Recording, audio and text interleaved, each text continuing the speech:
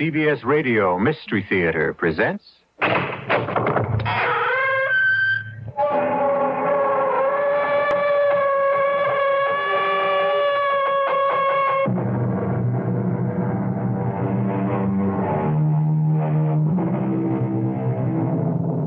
Come in. Welcome. I'm E.G. Marshall. I'd like to ask you something. Do you consider your most attractive feature? Your hair? Your eyes? Complexion? Your figure? Whatever, each of us is abundantly aware, though there are some who would deny it, of his or her most captivating attribute. And make the most of it, though there are some who deny that too. Be all this as it may, we're about to hear of a woman whose most beguiling characteristic was her smile. And because of it, the horrible thing that happened. Yes, I am dying. But I tell you, Ernest, I tell you, you will never be rid of me. Even when I am in my coffin in the family vault, you will never be rid of me. Never, Ernest. Never. I think. Yes, she's gone. Berenice is dead. No. No. Ernest, Ernest, don't take on now. Don't. Her mouth. Those lips bared. Her teeth. She is staring at me with her teeth, Anthony. Anthony, in heaven's name, close her mouth. Close her mouth!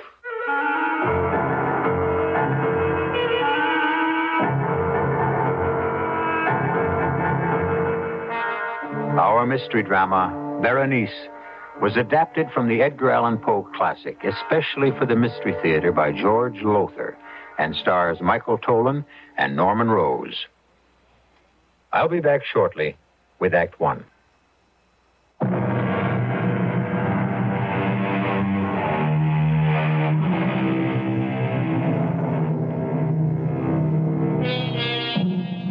What we call a fixation, an idée fixe, is one of the most extraordinary and mystifying aspects of the human mind. For example, love. Young love, at least, is a fixation.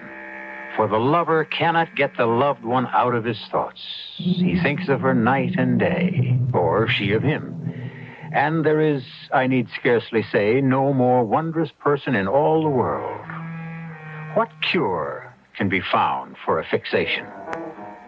Well, when it comes to love, and I don't mean to sound cynical, I suppose marriage. But when it came to Ernest Montresor and his wife Berenice, uh, well, that's our story. Do not tell me, Anthony, what I must do or must not do. Ernest, please. You are my friend, you are my attorney. You have come here to Mangrove Manor to straighten out whatever legal matters attend Berenice's death, and that is all. Ernest, I didn't mean to offend you. I am not offended, I am irritated. You can sit there and say, Ernest, your wife is dying. Try not to hate her as you do. Let me tell you something, my good friend. Had you lived one month, one week, one day in this house with Berenice, that shrew, that spitfire, you too would know what hate is. But I don't understand. I was at your wedding a little over a year ago, here at Mangrove, and you were deliriously in love with her. Not her. Her smile. What? I know you'll find it hard to believe, but that is the truth. Oh, there were other qualities that attracted me her charm, her gentle manner, her warmth. But these vanished quickly once we were married. I soon learned that her charm was a veneer, her gentle manner a mask that concealed a vicious temper. I am sorry. I didn't want to hate her. For months, I put all feelings of hate from me, the while asking myself how and why I still went on loving her. That's when I realized was her smile. I still fail to understand. Look at Berenice closely, and you will see that she's really very plain, almost ugly. But one doesn't look closely at first. I didn't, surely, because of her smile, of what her smile was then. She had teeth so even, so white, so perfect, they are as matched pearls. As for her lips, nowhere will you find lips so beautifully modeled, so sensuously inviting, so absolutely enthralling. I remember, yes. But, Anthony, Soon after our marriage, her smile changed too. The lovely contour of her lips became an ugly sneer. She no longer smiled. She bared her teeth like a vicious animal. But there must have been a reason, something that impelled her to. I'll give you a reason if you must have it. Constance. Berenice's younger sister? Yes. You know she came to live here at Mangrove when her husband died. I, I settled the estate, yes. Not, I'm afraid, that there was much to settle. He left her penniless. Precisely why she lived here. Berenice began to think. Go no further, Ernest. I am well acquainted with what is termed the eternal triangle. In this case, there was no triangle. Not then. But there is now. Constance is what Berenice pretended to be gentle, innocent, loving. Yes, I have fallen in love with her, and she with me. But you may believe me, as Berenice never has, when I tell you that our love is and has ever been platonic. Neither of us has betrayed Berenice in any way. Yes, come. Oh, Constance, my dear. We were just speaking of you. You remember Anthony Lamb. With pleasure. You were such a help and comfort to me when my husband died, Mr. Lamb. I did what I could. You. You look upset, Constance. Berenice wants to see you, and she's in one of her blackest moods, I'm afraid. Is she ever in any other? Try not to be harsh on her, Ernest. She's dying, you know. I shall try. If you'll excuse us, Anthony. Uh, perhaps I should come along. I have to discuss certain legal matters with Berenice, and it will be best if she knows I'm here. Come then. But I warn you, my friend, you'll regret every moment spent with her.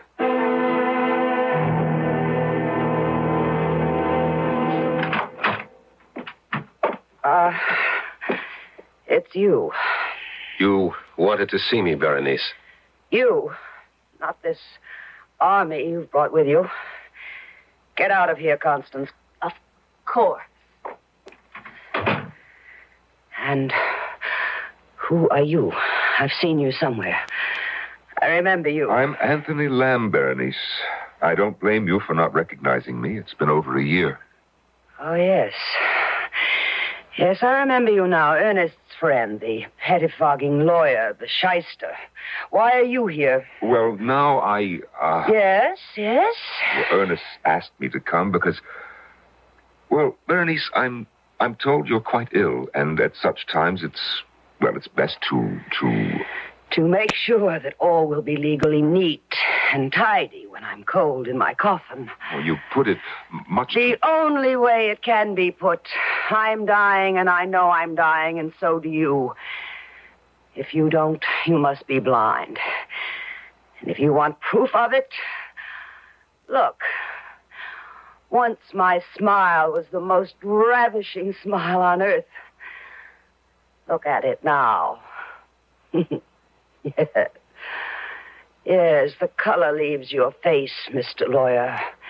You all but shrink away because it's no longer the beautiful smile of the living Berenice, but the ghastly grin of the Berenice who'll soon be cold in death. Stop it. Stop smiling. Dear husband, what is it? You used to tell me my smile captivated you, enslaved you.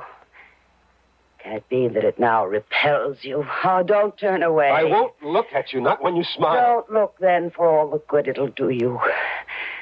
You'll remember. Soon I shall be dead. But my smile will never die.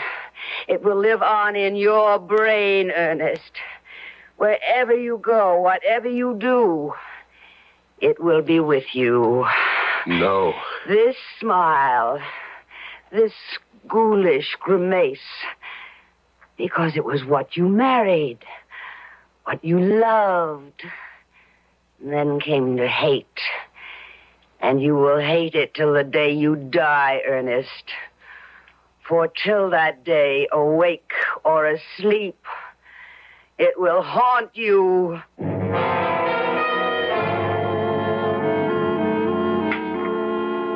Would you care for more of the shrimp, Mr. Lamb? Well, thank you, no, Constance. Oh, and do call me Anthony, won't you? It'll make me feel so much younger. If you wish. Ernest, won't you eat? You haven't touched a morsel. Not hungry. But you must keep up your strength. If you're not careful, you'll be having nightmares again. Nightmares, Ernest? The most horrible you can imagine. Berenice has all but ruined my health. Ruined it. Hush now, we mustn't talk that way. What other way is there? No more wine, Ernest. Another glass can do no harm. No more, dear. For my sake. For your sake, anything. Anything except to lie about my true feelings. You, Constance, you have lived in this house for nearly a year. You know the hell she has made of my life. You know that I could not mourn her passing. And what is more, you know that I love only you. Ernest, it is not the proper time. I know, I know, but I. Now, you are overwrought. It is not you speaking, but your nerves. Listen to me. Constance. My sister lies upstairs dying. Whatever you think of her, in these last days of her life, though we cannot in truth love her, we can, in all dignity and honor, try at least not to hate her. You must try, Ernest. You must. Yes. And with your help, I shall. But you will not succeed. Berenice. How did you get here out of bed? I rang my bell, but no one came. I called, but you did not answer. We didn't hear. And so I found the strength, what strength remains, to come down and tell you I am about to die. No, no. When death is near, you know it. Full well, you know it. I have little time left now. Perhaps only minutes. A glass of wine. Of course. Of course. he hurries to assist me, to comfort me, when in his heart he would kill me. No. No, Berenice, I would not. Liar. Berenice, You I- hate me. Say it. You hate me. Say it. Here. The glass of wine you asked for. That. Your glass of wine. Sniveling, nightmare ridden fool. I had hoped I'd at last found a man when I married you.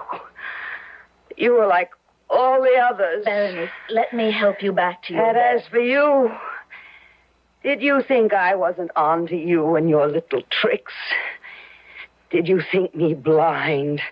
That I couldn't see what went on between you and my husband? Nothing. Before heaven, I swear that. Liar! I saw, I know. little Constance. Innocent, saintly little sister. Sinking her claws deeper and deeper into the man who was mine. Madam, You address me. madam, you are ill. Yet there is in you a kind of strength I have recognized before. In, I say to you, the worst kind of criminal. Huh? Go on. I don't know that I can. I have never understood what made these people what they were, but this I know. There are angels on this earth and there are devils. And you, madam, I say it to you, even in your dying moments, you are a devil. I- I don't blame you for looking at me like that. I, I spoke on impulse. I'm ashamed. Ashamed. You are the first man who has ever dared to. Berenice. Stay away. Stand back. Don't don't touch me. Only listen. You will be haunted by the magnet that drew you to me. The weapon with which I ruined your life and will destroy you. My smile, Ernest. My smile. No. Look at me. Sensuous lips bearing milk white, perfectly matched teeth. Look. Here, let me- She's falling across the table. I think. Yes. She's gone. Berenice is dead. No. Ernest, don't. Her mouth. She is staring at me with her teeth. Anthony, in heaven's name, close her mouth. Close her mouth!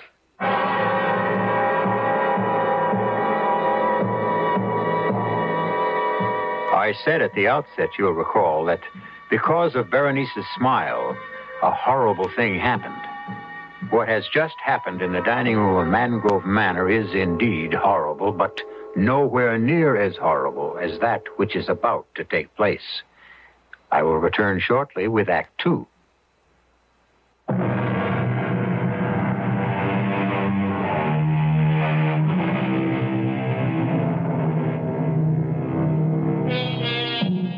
I think it was Sir Winston Churchill who said that when the human brain grabs hold of a thing, a worry, a concern of some sort, an anxiety, it grips that thing as in an iron fist and will not let it go.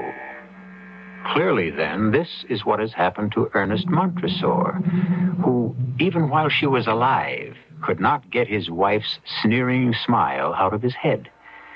And now that she has been placed in the family vault on the estate near Baton Rouge, Louisiana, well, listen. Ernest.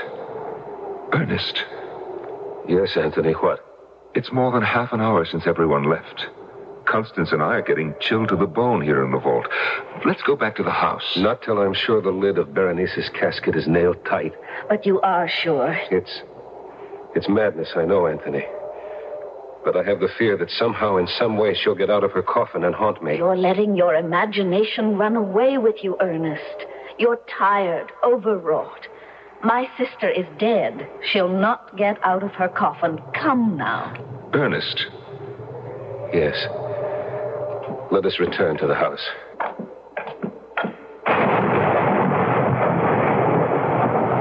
I'll close and lock the gate. No, I will. There. She's well nailed down in her coffin. Well locked in, too. Yes. Now let's. No, no. No, wait. Good Lord, man, what now? I must make sure the lock is strong. Sound and strong. Now, Ernest, dear, that's enough. Don't tell me what is enough. Don't. Oh, Ernest. Dearest, what is it? Why are you looking at me with such fear? Never, Constance. Never so long as you live, smile at me like that again. You. You look like Berenice. But, Ernest, I. My. My nerves are shaking. I. I need a drink. Excuse me. He's in trouble, Constance. We'd, we'd best catch up with him. But, Anthony. Nothing to worry about, really. You, you just upset him a little when you smile. But that's the point. What? I didn't smile.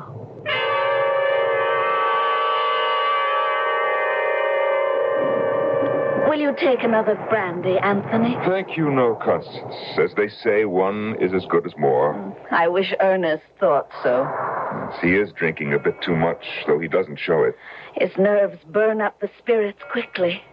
I have never seen him in such a nervous condition, never so exhausted. Let's hope he's having a good, deep, restful sleep. Speaking of what is good for Ernest, I hope you'll be able to stay with us a while, Anthony. I should like to, but I have pressing business in Baton Rouge. A few days. It would be such a comfort to Ernest. I'm sure, but the comfort he really needs is is what you can give him. Constance, may I speak frankly? Of course. In ordinary circumstances, by which I mean had Ernest and Berenice still loved each other, I'd not suggest anything of this sort, but for all things considered, Constance, I should like to see you marry Ernest as soon as possible. Berenice not yet cold in her grave, and you? I do, yes. Constance, you alone can give him the love and the warmth he so desperately needs. I, I know, but. Oh, Anthony, whatever she was, Berenice was my sister. How can I, in all conscience, marry her husband within so short a time? It would be an act of indecency. Oh, no, an act of charity and of love. My dear, no immediate decision is needed. Think about it and should. No! What? What in the name of heaven? It's Ernest. No! Come, quick!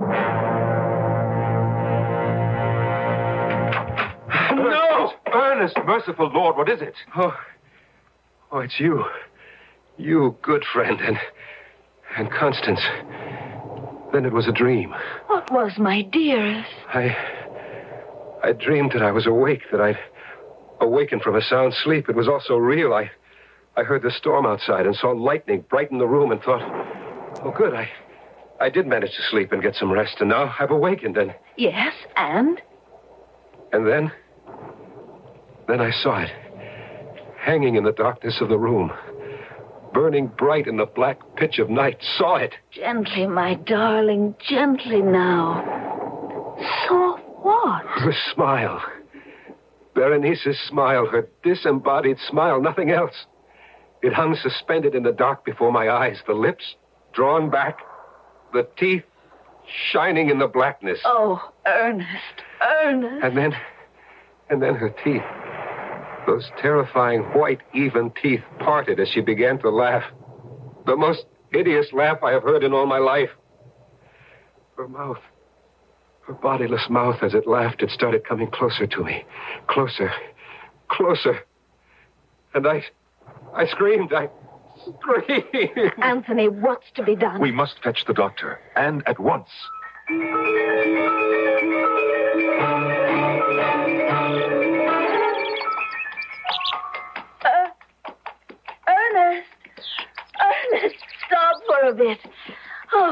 Rest. Of course, my dear. Of course. Here, let me help you down. Ah. Oh. Thank you, Ernest. There's a log over there.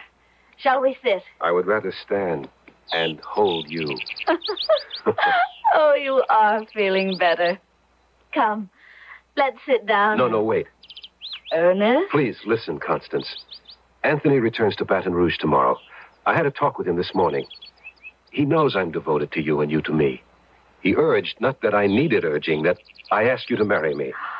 Ernest, I... Do say yes, Constance. I beg you. Say you'll marry me. That's exactly what I was going to say once you gave me the chance. You. You will? You'll marry me? Oh, I will. Oh, I will. Constance. Oh, Constance. Ah. Let's hurry back and tell Anthony. Yes, that dear good friend of yours will be relieved to know, I'm sure. Here, I'll give you a hand up. Uh, there. Oh, Ernest, my horse. Oh, Oh, oh.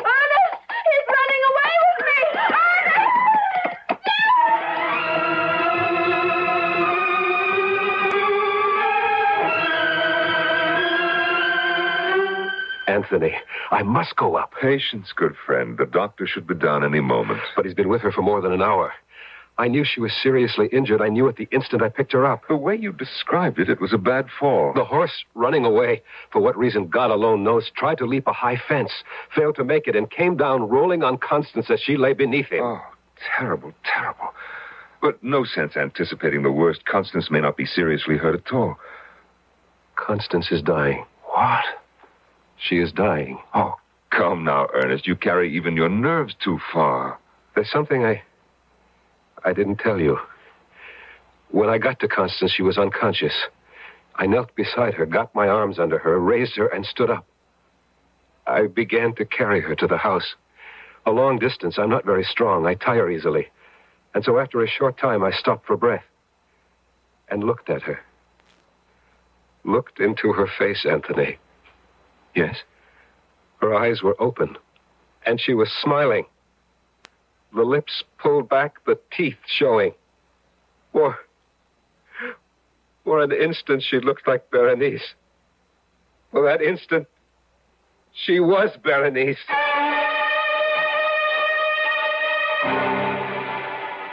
Doctor? Doctor, is she? Don't bother him now, Ernest. But I can bear no more of this waiting, this interminable waiting. Look at her.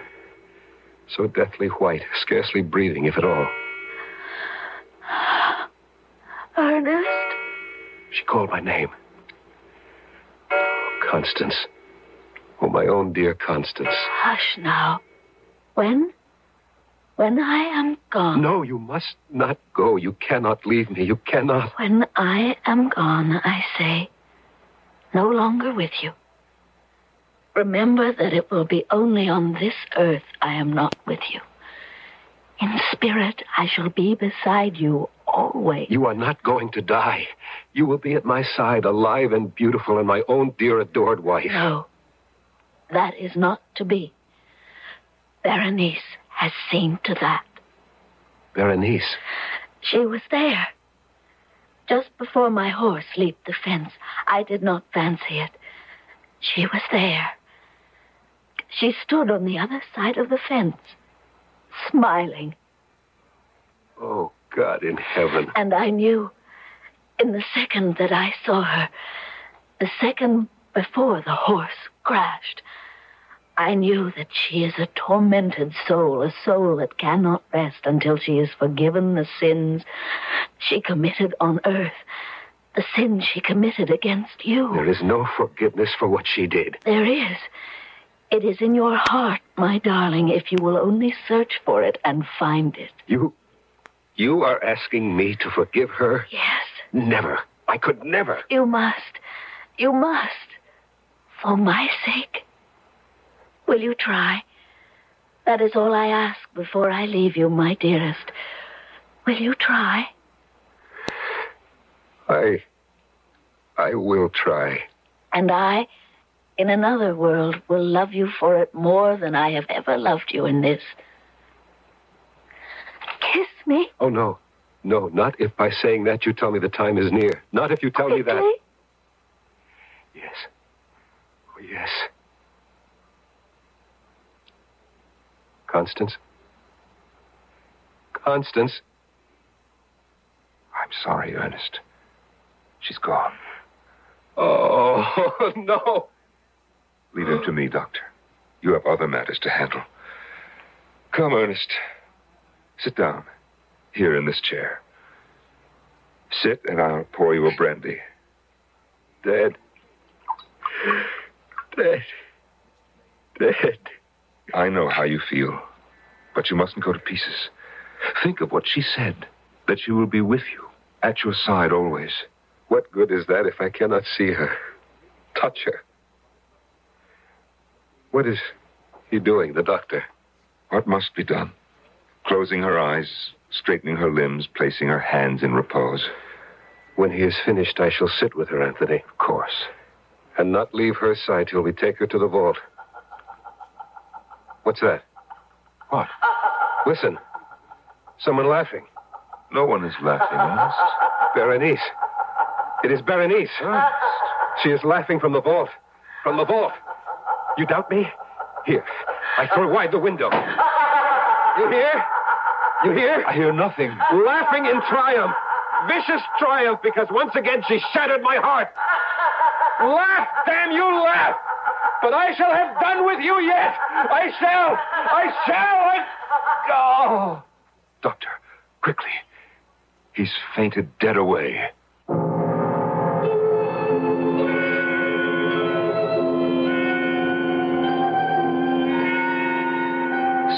In fevered imagination, in the sickened mental state brought on by unbearable grief, Ernest fancies he hears the hideous laughter of Berenice, pursuing him, haunting him, driving him mad in death as she did in life.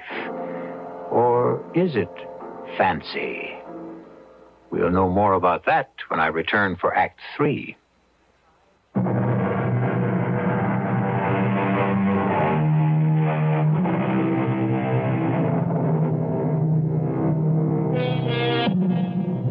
Scarcely has the breath of life fled the body of his beloved Constance than Ernest Montresor hears, or thinks he hears, the triumphant laughter of his dead wife, Berenice.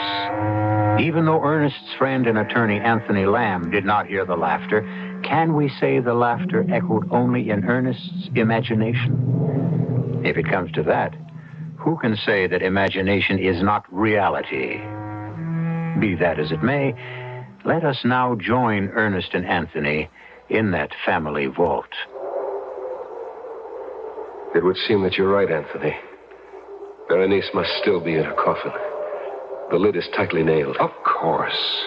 But her laughter, so horribly clear. Ernest, there was no laughter. You imagined it. No, no, I heard it. She murdered Constance. She made the horse run away, fall, and kill her.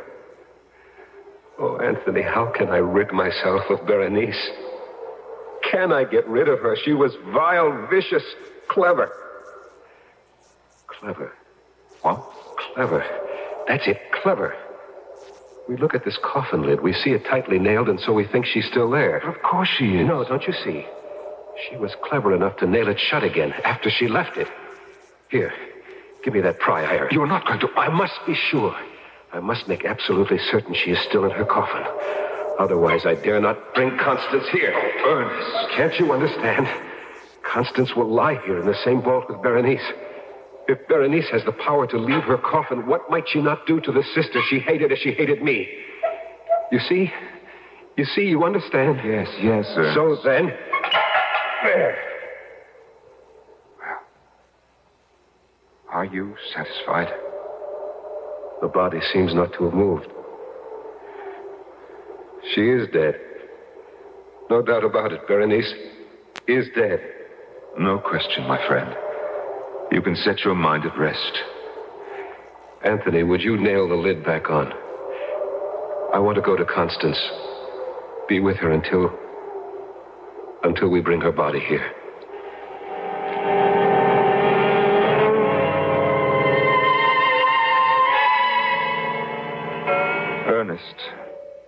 Yes, Anthony. Ernest, it's two o'clock in the morning. Not for her. Not for Constance. For Constance, there is no time now. Ernest, please go to bed. To bed? To dream? Once again to ride a nightmare? I asked the doctor to give me a sedative for you. Now, if you'll take It It will do no good. More harm than good. I've taken them before, and I. I cannot leave Constance alone.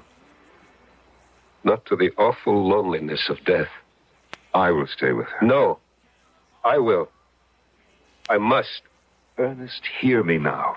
You will drive yourself mad if you go on like this. As your friend, I. what? You heard it? I am not hearing things. That sigh. It was Constance. And look, Ernest, look. Color. Her cheeks. Color coming into her cheeks. Pulse. How, how, how do you feel for a pulse? Now, let me. Yes? Yes? There is no pulse. And yet, a faint warmth. Her wrist beneath my hand feels. Ernest, I tell you, there is warmth. Alive. She is alive.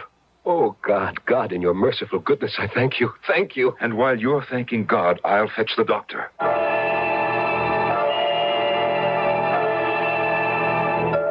Thank you, Doctor. I'm sorry to have put you through all this trouble. Thank you and good night. I'm. I'm sorry, Ernest. Strange. Strange. Very. There was color in her cheeks, warmth in her body. Yet by the time the doctor arrived, the warmth had fled, the color vanished. She was once again a corpse. Anthony, what do you make of it? I cannot say. I don't know. It's one of the the most baffling things I've ever seen. But then Mangrove Manor seems alive with strange things. Not so strange if you had lived a year with Berenice. If you had come to know her as the devil she was. I begin to believe you. It's four in the morning, and I've been up. We both have been since early yesterday. There'll be much to do tomorrow, and both of us must get some rest. No, not I. I will stay with Constance. All right, Ernest, but be sensible. But take that large armchair in the corner and see if you can at least doze for a time. Very well. I'll go to my room for an hour or two of sleep. All right. And Anthony, thank you for all you've done. It's nothing. It's nothing.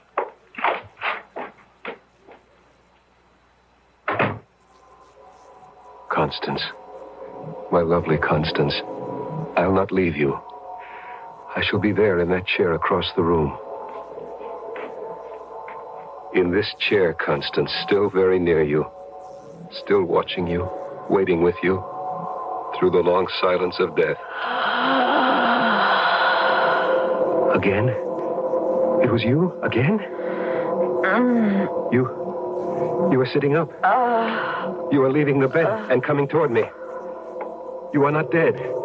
You live. Oh, let me see your face. I cannot see it. The shadows and burial shroud hiding it from me.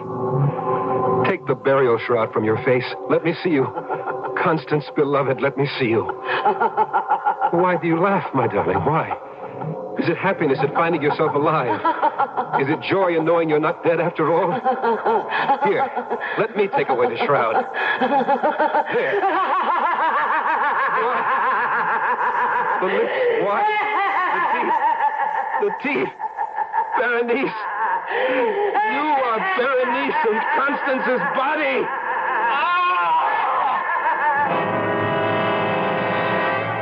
No, Ernest, no, it was not a nightmare. I thought it was.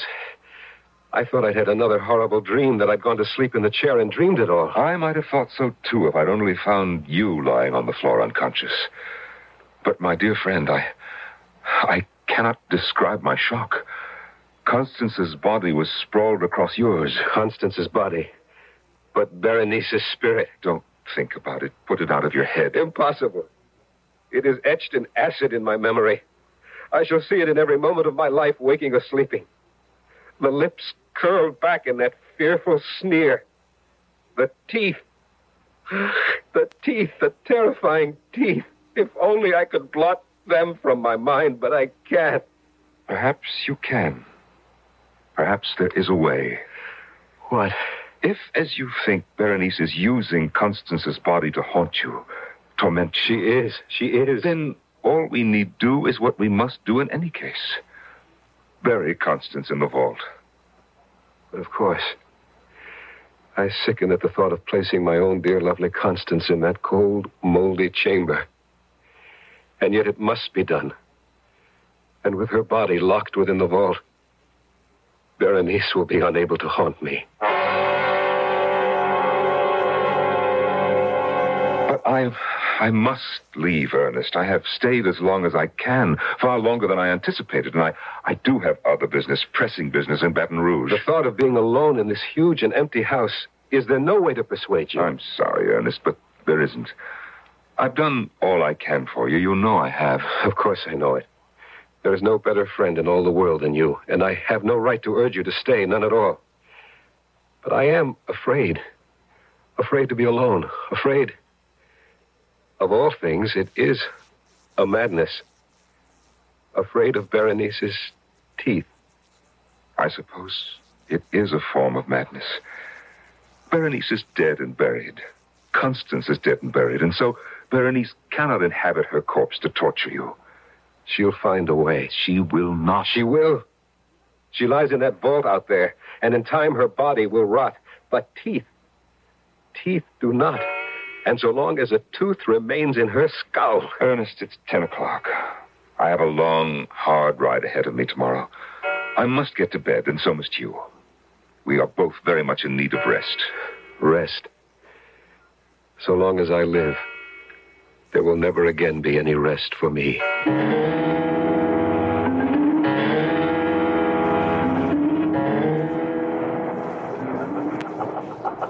What? What? Berenice, that laugh. Did I hear it or only dream? Open the window and listen. Nothing. Nothing. A dream, another nightmare. To bed, Ernest, too. But what is this? I'm wet to the skin. My my night clothes are drenched. My my feet caked with mud. Oh, wait. Wait, it comes back to me now. The dream. The nightmare. Was it a dream or did I? Anthony! Anthony! Anthony! I'm coming. I'm coming. Good, good Lord, man. What is it now? Come in. Come into my room. Yes, but what is it? What's happened? Another of your awful nightmares? Well, I don't know. you don't know if you had a nightmare or you didn't? If it was a dream, then then that's what it was. But if it wasn't, if I really did the thing I thought I dreamed, then then Anthony, I am mad. What do you mean? I mean that if I really did it, I've done something so horrible it could only be the work of a madman. Ernest, what did you do? I dreamed. Oh, make it a dream. But look at me. My my clothes soaked through, my my feet muddied. I I must have done it. Done what? What? I I left my bed and went outside to the tool shed The tool shed? and found what I was looking for. And then I went to the vault. In this storm, you went. Yes, to the vault. I unbolted the gate and went in. And then I pried open Berenice's coffin. Oh, no. Yes, yes. There she lay, moldering in death. But the lips drawn back and the teeth, those white, even, perfect, gruesome teeth, exposed. I. I stared at them, stared in a horror of fascination. And then, taking the instrument I brought with me, I. I did what had to be done to save my sanity. What? What did you do? I dare not speak of it, put words to it. Nor can I bear to look. Look. To see, was it dream or reality? Look at what? When I. When I had done it, I returned here to my room. I. I placed the instrument on the mantel. In my dream, I placed it there. And though it must be a dream. Please, go to the mantel. See if the instrument is there. Very well, Ernest. I. I see nothing here but a pair of pliers. Oh! This. This is the instrument you used in your dream. No dream. No dream. Can't you understand that now? No dream. Pliers are there. I did it. May a merciful God forgive a madman. I did it. The, the table. My bedside table. Look there now. Look.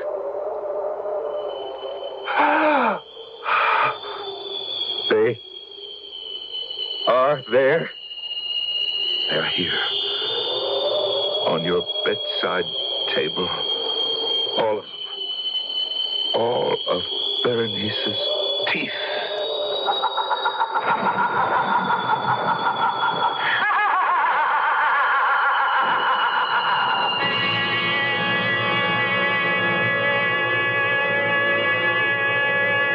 Well, a toothsome tale, was it not?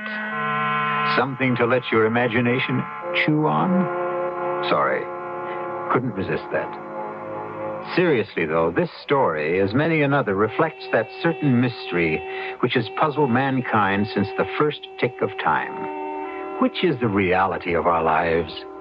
Which the dream? You got me. I'll be back shortly.